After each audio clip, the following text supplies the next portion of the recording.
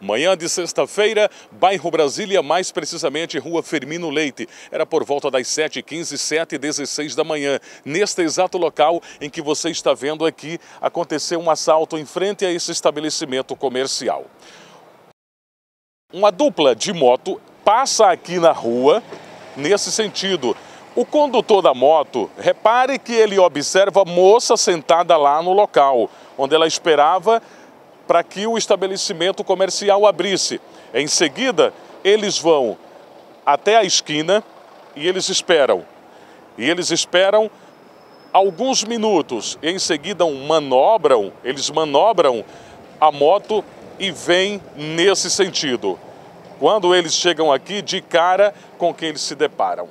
E aí, a Adriana está sentada exatamente neste local aqui. Adriana, você esperava a loja abrir né, o estabelecimento comercial aqui para o trabalho. Isso mesmo. Você estava no telefone? Estava ligando para a patroa para ela abrir o portão. Certo, a patroa mora aqui. Isso, mora aqui.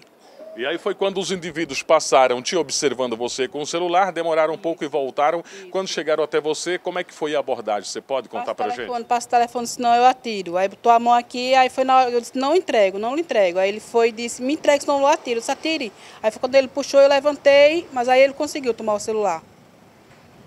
E aí você, eh, no desespero por estar perdendo o, o- o seu telefone celular, você fez uma coisa que é pouco comum. Vem comigo, Adriana. E nas imagens que você está assistindo aí, do monitoramento da rua aqui, a Adriana ela corre aqui. Onde é que você cata a pedra aqui, Adriana? Muito bem. Você está vendo aí nas imagens, a Adriana ela se agacha aqui, pega a pedra e ela tenta arremessar a pedra em direção uma motocicleta que fugiu aqui pela rua Firmino Leite.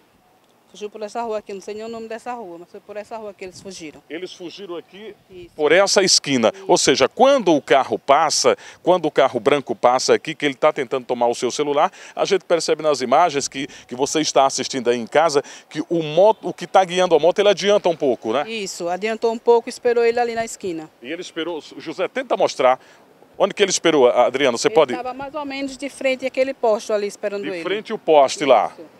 Mais ou menos ali. Aí o outro indivíduo correu a pé e Correu a você metendo pedra Eu nele. meti-lhe a pedra.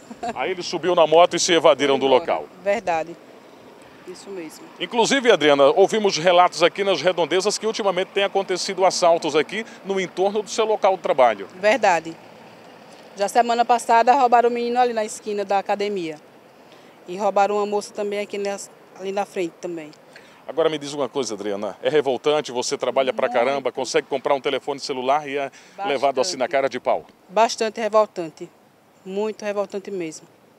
Pois é, esse é o relato de mais uma trabalhadora que, enquanto espera a patroa abrir o estabelecimento comercial, já que ela mora aqui no mesmo prédio, simplesmente tem o telefone levado assim na cara de pau. Mas é, é, talvez seja fácil de identificar esses indivíduos, porque você continua observando aí nas imagens. Vamos repetir várias vezes para que as pessoas possam observar as características dessa moto. É uma moto, é uma Titan 150 de uma cor não pouco comum, que é uma cor verde, né, com rodão. Inclusive, o sujeito, o assaltante, um dos assaltantes que tenta se passar por mototaxista com um colete verde também, na cor verde, e, e é muito claro, é muito claro. O objetivo dele não é fazer mototáxi, e sim assaltar as pessoas, disfarçado de mototaxista, disfarçado de trabalhador. É lógico que a partir dessas imagens eles possam ser identificados pela polícia militar e quem sabe ainda hoje ser detidos em seguida.